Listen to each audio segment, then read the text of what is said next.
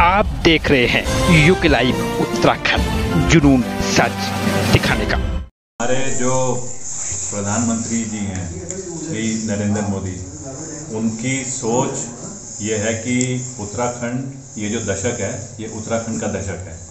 और अगर उत्तराखंड का दशक है तो इसका मतलब ना काफ़ी इसके पहले उन्होंने, उनकी टीम ने रिसर्च करा। जब ये सब हुआ तो उसके बाद हमारे जो मुख्यमंत्री हैं, श्री पुष्कर सिंह धामी जी उन्होंने जो सवा करोड़ जनता है, जिसका हिस्सा मैं भी हूँ, जिसके हिस्से आप भी हैं, उन सबकी जो इच्छाएँ हैं, उन सबकी जो भविष्य के लिए जो उत्तराखंड कैसा होना चाहिए, उसकी जो कल्पना है, उनको सोच करके एक टीम बनाई गई कि वाकई में उत्तराखंड को अगर स्ट्रॉन्ग बनाना है, अच्छे तरीके से तो कैसे करा जाए, उसके लिए पूंजी निवेश को यहाँ पे लाने का इनक्रेजमेंट का तरीका बनाया जाए। तो खाली बोलने से तो नहीं होता है कि पूंजी निवेश अगर लोग आकर के करें, लोगों को यकीन भी होना चाहिए तो उसके लिए क्या करा गया? कौन कौन से फील्ड्स हैं, कौन कौन से वो सेक्टर हैं जिसमें लोग आकर के यहाँ पूंजी निवेश करें, उनको आइडेंटिफाई करा गया। हमारी जो पॉलिसी हैं, अगर कोई आता है तो पॉलिसी ऐसी होनी चाहिए कि आदमी को ना अच्छा लगे सिंगल विंडो सिस्टम जिसको बोलते हैं। अगर किसी ने शुरू करा है कि मैं टूरिज़्म में करना चाहता हूँ तो एक ऑफ़िस से मिला, वो ऑफ़िस उसे ज़मीन भी दिलवा रहा है, वो ऑफ़िस उसके परमिट भी उसके यकीन करवा रहा है, वो ऑफ़िस उसको इलाका भी दिखवा रहा है। इस प्रकार से ये वाली चीज़ें करी गई। फिर उसके बाद में आइडेंटिफाई हुआ कि किन किन जगहों पे करा जाएगा। फिर उसके बाद में हुआ, अब इसको ना समझाना है। तो समझाने के लिए एक तो है कि ठीक है, आप पब्लिसिटी कर लो, आप अखबार में निकाल लो। लेकिन अगर खुद प्रैक्टिकली जाकर के कोई टीम जगह जगह समझाए तो उसका ना मैसेज एक दूसरा होता है। तो यहाँ तो हमारे मुख्यमंत्री जी खुद जा कर के, साथ में टेक्निकल टीम अपने जो एक्सपर्ट्स हैं, उनको, और जगह जगह इंटरेक्ट कर रहे हैं, समझा रहे हैं और फिर इनक्रेज कर रहे हैं लोगों को। और जाने का तरीका भी मतलब खाली इंडिया तक ही लिमिट नहीं करा इंडिया के बाहर। इंग्लैंड में बहुत बड़ा आज एक इंडियन विचार की तरफ़ हिमालय के विचार की तरफ़ एक सोसाइटी है, एक कल्चर है।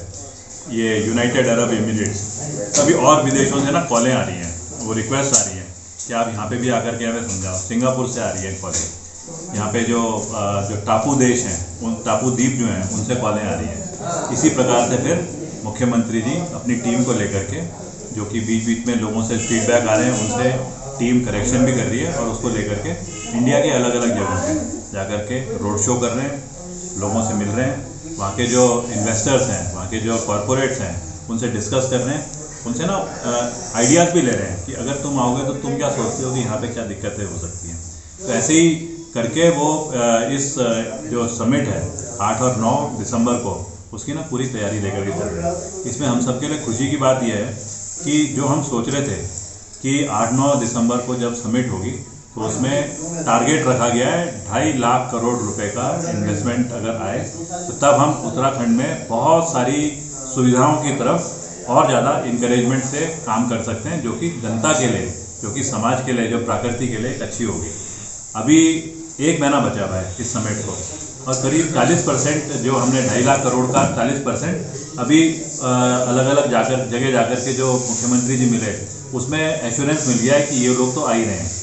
असली उम्मीद करी जा रही है आठ और नौ दिसंबर को, जिस दिन की मेन समिट है, वो दो दिन, उसमें लोग आकर के अपना इन्वेस्टमेंट का एक एमओयू साइन करेंगे। लेकिन इंकरेजमेंट वाली बात, हम सवा करोड़ लोग जो हैं, जिसके लिए मुख्यमंत्री जी बहुत ज़्यादा कोशिश कर रहे हैं कि कैसे हमारी सोच को लोगों को ला करके उनसे इन्वेस्ट करा करके पूरा करा जाए वो हमें दिख रहा है बड़ा अच्छा एक पॉजिटिव एक रिस्पांस मिल रहा है। इस समिट से इस इन्वेस्टमेंट से फ़ायदे। बहुत बड़ा रोज़गार का प्राइवेट सेक्टर में एक ज़रिया खुलने वाला है। उसके बाद में जो अ, किसी भी इलाके की तरक्की होती है अब हमारे यहाँ थोड़ा सा अलग ये है उत्तराखंड में कि पहाड़ का इलाका प्लेन का इलाका है। तो प्लेन का इलाका और पहाड़ दोनों को तुलनात्मक तरक्की अगर देखी जाए तो इस इन्वेस्टमेंट समिट में उस तरीके से लोगों को इनक्रेज करा जा रहा है कि वो अपनी इंडस्ट्रीज़ को प्लेन में तो लगा ही रहे हैं लेकिन साथ में पहाड़ में काफ़ी ज़्यादा लगाएँ। कन्ना साहब तो क्या मानेंगे? देखो नए भविष्य के साथ में ही रोज़गार पलायन वो तो होगा ही लेकिन मेरे को तो लगता है अगर ये अच्छे तरीके से जिस तरीके से चल रहा है तो हम रोज़गार का ज़रिया बनेंगे और राज्यों के लिए भी। जो आसपास के राज्य हैं वहाँ के लोग भी आकर के यहाँ पे रोज़गार के तरीके ढूंढ सकते हैं। यहाँ लोकल तो होगा ही लेकिन बाहर वालों का आना एक और पॉजिटिव मैसेज इसलिए जाएगा कि यहाँ से कमा करके जब वो जाते हैं और जाकर के अपने राज्यों में, अपने परिवार को देखते हैं, अपने घर को देखते हैं तो उनके अंदर भी ना वो भावना आएगी जो यहाँ के समाज की है कि हम खुद अपने आप मेहनत करके, मुश्किलों में रह करके कभी किसी दूसरे को भी इंकरेज करें प्रकृति की तरफ़ देखो, आपस में जुड़ करके रहो तो ये सब चीज़ें पॉजिटिव वो भी आएगी।